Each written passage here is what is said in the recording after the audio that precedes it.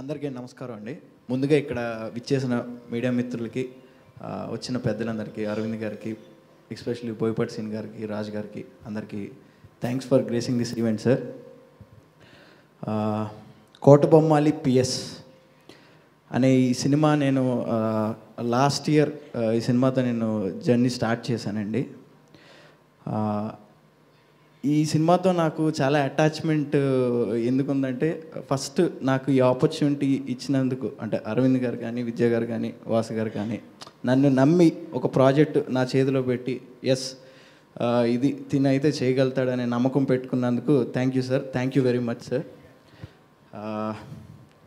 ముందుగా సినిమా గురించి మాట్లాడాలంటే ఈ లింగిడి లింగిడి పాట. అంటే ఆ లింగిడి లింగిడి పాట నుంచి నేను జీవితంలో చాలా నేర్చుకున్నానండి. అంటే చిన్న ఎక్స్పీరియన్స్ ఆ పాట గురించి నేను షేర్ చేసుకోవాలనుకుంటున్నా. ఆ పాట బాణీ కట్టించి తయారు చేయించినప్పుడు మధ్యలో ఒక చిన్న ఉంగేలేలే ఉంగెంగులేలే అన్న చోట నాకు లిరిక్ కావాలి. నేను అడగని లిరిసిస్ట్ అంటే లేరండి.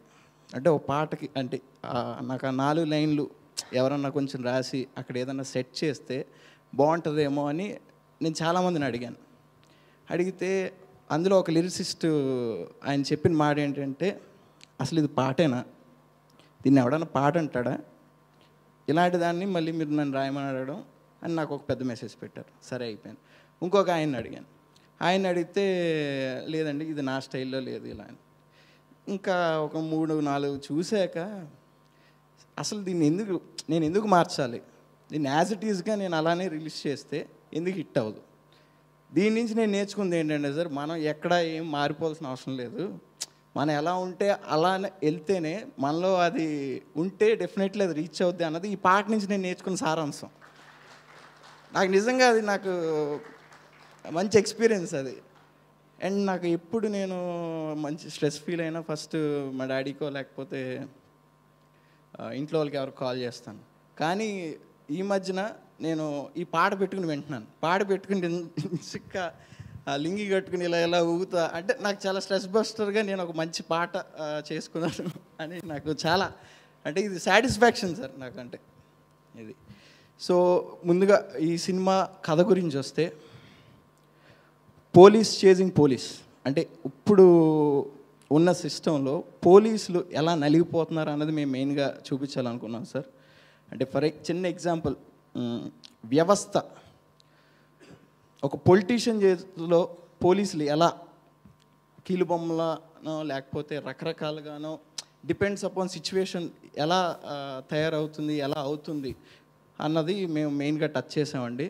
ఫర్ ఎగ్జాంపుల్ ఇప్పుడు పవన్ కళ్యాణ్ గారిని రోడ్ షో చేయకుండా ఆపడం జగన్ గారిని ఎయిర్పోర్ట్లో ఆపడం లేకపోతే సీఎం గారిని ఐ మీన్ చంద్రబాబు నాయుడు గారిని ఇప్పుడున్న సినారియో కానీ సో ఇవన్నీ ఏంటంటే ఒక ఒక పొలిటికల్ సిస్టమ్ ఒక పొలిటికల్ లీడర్ అనే వాళ్ళు ఎంత ఇంపార్టెంట్? ఆ లీడర్ని ఎన్నుకునే ఒక ఓటర్ ఎంత ఇంపార్టెంట్? అంటే డెఫినెట్లీ చెప్తున్నానండి ఓటర్ ఐడి ఉన్న ప్రతి ఒక్కరూ మా సినిమా వచ్చి చూడాలి. ఎందుకు చూడాలి? ఏంటంటే అది మీకు ఇరవై నాలుగు తెలుస్తుంది. And system. అంటే ఒక పోలీస్ ఆఫీసర్ అవుదాం అనుకుంటున్నారు ఒక ఐఏఎస్ ఆఫీసర్ అవుదాం అనుకుంటున్నారు ఎవరన్నా సరే తప్పకుండా ఈ సినిమా చూస్తే మీకు you will definitely feel and connected అంటే యూ uh, మీకు ఆ రిజంబ్లెన్స్ డెఫినెట్లీ కనబడుతుందండి. అండ్ టెక్నీషియన్స్ uh, uh, పరంగా వస్తే మా మా కెమెరామెన్ జగదీష్ గారు నేను నా థర్డ్ ఫిల్మ్ అండి ఇది. నేను నా మొదటి ఫిల్మ్ జోహార్ నుంచి ఆయనతో నేను పనిచేస్తున్నాను. So beautiful visuals and uh, చాలా టెక్నికల్ సపోర్ట్ uh, ఇచ్చిన మా ప్రొడ్యూసర్స్కి బనీవాస్ గారు కానీ మెయిన్లీ uh, విద్యా మేడం. ఎన్నిసార్లు పాపం నన్ను విసుకుని ఉంటారు తేజ తేజ ఇది అవసరం అది అవసరం అంటే madam madam please madam. So thanks for supporting madam. And thanks for understanding sir and మెయిన్గా వాసు గారి గురించి చెప్పాలి. అంటే ఫస్ట్ ఆఫ్ ఆల్ ఈ కథ ముందే ఆల్రెడీ వాళ్ళు ప్రిపేర్ చేశారు. నేను మధ్యలో జాయిన్ అయ్యాను. తర్వాత నేను నా నాకు నాలోకి నేను ఇంజెక్ట్ చేసుకుని నేను ట్రావెల్ అయ్యి చేస్తున్నాను సేపు thanks for pushing me sir. అంటే ఇంకా మనం ఏదో పట్టుకోవాలి చేయాలి అన్న కసి నాలో ఇంకా ఇంకా బాగా అది చాలా హెల్ప్ అయింది. నేను నేర్చుకున్నాను చాలా ఈ సినిమా నుంచి. టు బి ఆనెస్ట్ చెప్పాలంటే. So it's a beautiful ex experience and నాకు మెయిన్గా మా రీ రికార్డింగ్ అందించిన మా రంజన్ రాజ్. ఈరోజే చెన్నై నుంచి మిక్సింగ్ ఫినిష్ చేసుకుని వచ్చాను సార్. నేను చాలా హ్యాపీ అవుట్పుట్ చూసుకుని కానీ ఇది కానీ. సో సినిమా నుంచి బయటకు వచ్చేటప్పటికి ఆడియన్ రామకృష్ణ అనే క్యారెక్టరు అండ్ మిగతా ఉన్న ఇద్దరు క్యారెక్టర్స్తో బయటకు వస్తారండి. ఇట్స్ అన్ ఎమోషనల్ థ్రిల్లర్ అని నేను చెప్పచ్చు. అంటే ఫస్ట్ హాఫ్ అంతా you will be hook to the seat definitely. ఒక మంచి థ్రిల్లింగ్ ఎక్స్పీరియన్స్తో మీకు కనబడుతుంది cinema. Second half you have beautiful emotions అండి. డెఫినెట్లీ సినిమా చూసి బయటకు వచ్చి మీకు అంటే ఆ క్యారెక్టర్స్ హాంట్ చేయకపోతే సారీ నేనేం చెప్పలేను బట్ డెఫినెట్లీ హాంట్ చేస్తాయి. అవి and thanks thanks to my team direction department and all ఇంకేమైనా మర్చిపోతే క్షమించండి.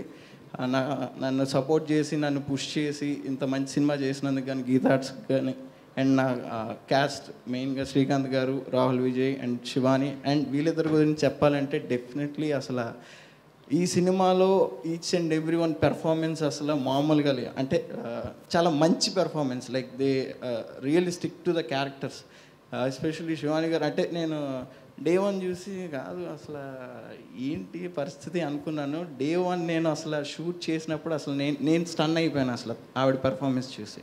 సో అండ్ రాహుల్ కూడా like is a very sweet boy is like my brother so he is very committed అంటే అరకు స్కెడ్యూల్లో ఆయన కాల్ ఫ్రాక్చర్ అయ్యి recover అయిన కొన్ని రోజులకి అవుట్డోర్ స్కెడ్యూల్ స్టార్ట్ చేసాం.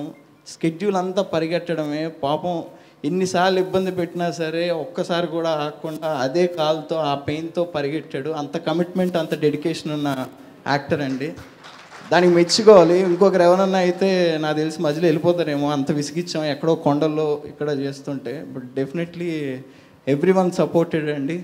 అండ్ ఐ హోప్ ఈ ఇరవై నాలుగుని ఈ కోటబొమ్మలి పిఎస్ అనేది పెద్ద విజయం సాధించాలని కోరుకుంటూ థ్యాంక్ యూ థ్యాంక్ యూ